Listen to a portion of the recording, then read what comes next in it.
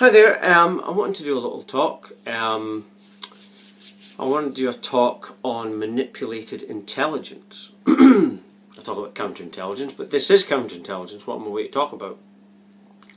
Um, and it's basically, I've been thinking about this for a little while, and you know, the education system, as I say, is for perceptual control. Um, it's not to build your intelligence, it's actually to manipulate your intelligence um, not fully to take it away. What they want is they. This is why they do tests and all this different stuff. Is they want to um, see your intelligence, but then when you go to university, when you go higher up, they're manipulating your intelligence so you think in the way the system wants. So you're in, in a prison, in a mind prison. So it's not that you're stupid. I mean, sometimes I over exaggerate. You're still just repeating. Um, um, but that's what it is. It's manipulated intelligence. That's what the education system is. It's about seeing your spark and manipulating that in their favour. So that you're working for them, you're thinking how they want you to think, like a robot basically.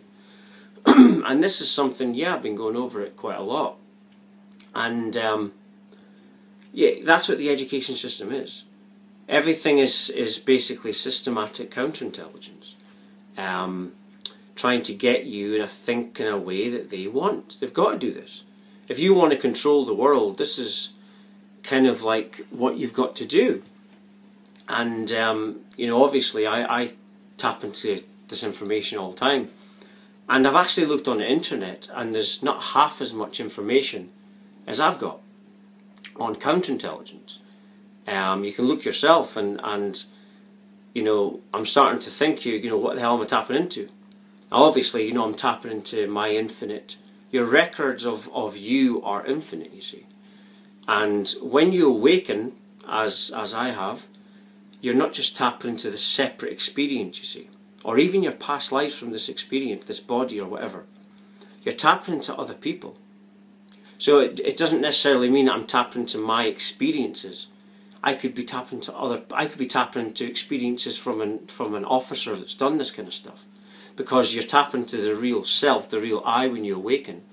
And the real I is the infinity of everything. So it's you, it's it's an animal, it's the trees, it's it's the skies, it's it's it's infinity. And it's this infinity that makes your experience possible.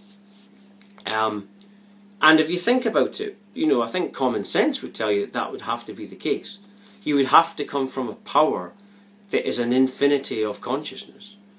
Um, and that would that would allow your experience to be like what David Icke says that we you know I like that line from David Icke when he says we are just um, a point of attention within an infinite consciousness. And that is the absolute truth. Because when you are this infinite power really this infinite power um, you can just manifest things at a drop of a hat but we come here to experience harshness in a reality where it's not so easy to manifest where you've got to work a bit and that's why we come here. So, cause, because it's more of a challenge, you see. Um, but going back to this counterintelligence, yeah, if you just look in a room, for example, um, you can actually see things. I do this quite a lot. I'll look in a room of, of someone, um, of their own house or something, and you can see little items and things that is a reflection of their personality. And this is the counterintelligence because it's a long range goal. Something planned 1899 could take till 2000 to implement. That's how long counterintelligence is planned for, that kind of thing. And this is to get your perceptions, buying your furniture or pictures or whatever that reflects your personality. And what this is doing is reflecting to you the counterintelligence, the perceptual control of which the system has organised. So once you're totally perceptually programmed, you're buying things and you're going to be interested in things that is to do with this counterintelligence. It doesn't just start from this life. It starts from, from a long time ago and then that takes you to the next life and then there's counterintelligence there, takes you to the next life and so on. That's how it's done. And it's in in your in your subconscious, and so you're then buying things, and everything you're experiencing is just reflecting back at you this systematic counterintelligence. Um, yeah, and, and obviously, you know, obviously, you know, when it comes to counterintelligence, I, I'm, you know, I'm relentless on this stuff. And that's because I'm constantly downloading information on it, and anyone can do it. Um, anyone can awaken. How you awaken is you've got to look at everything as you, everything your deflection. Um, if you authentically do this, you'll start to access that tiny space in your heart. You'll go within, and that's when you tap into your divinity. This counterintelligence is to keep you away from that, but you've got to realize that everything outward is, is, is that. It's like I always say in biblical terms, um, the snake is a counterintelligence expert, and the fruits are all counterintelligence operations. You were told to stay away from the fruits. So that's, you see what I mean? Um, so you've just got to have that way about you, just trust what's within you. Because the only your soul knows um, I get people asking me questions sometimes, and, and I don't even respond. But the reason I don't respond is because I know nothing compared to your soul.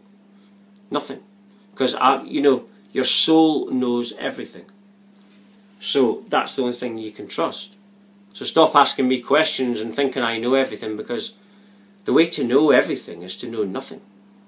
Once you know nothing, you know all. That's that's the secret. You see, it's all nothingness. Once you tap into that, like I do this meditation thinking of nothing, and, and I've done it ever since my awakening. I was download this information to think of nothing, um, and I've done it for so long now that um, what it does is it basically takes you deeper, deeper within your heart space, and this is why you know more and more you know sounds are physical things to me, and physical things are sound because the third eye is volumized because of this nothingness meditation. That's how you volumize your third eye. But anyway, um, I'm just going to end it there. Um, the divine consciousness is every street corner. That's how it arranges everything. That is the thing behind everything. And we all go back to that in this global awakening that we're going through. The state of infinite abundance, which is our natural state. Um, and because it's every street corner, it knows every route to take. And I just wanted to end on that note. So if you're watching, the Divine Consciousness has arranged for you to watch at this moment. Um, thank you very much for watching. Thank you.